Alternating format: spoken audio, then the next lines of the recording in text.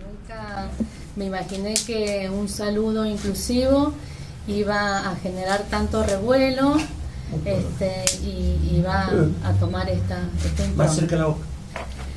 Como lo expresé ayer en mi carta, para mí la inclusión es dar la bienvenida al otro.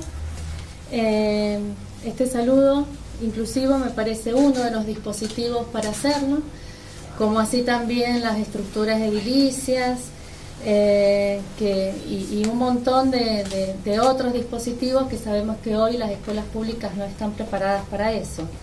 Yo estoy muy preocupada y también ocupada en este tema de la inclusión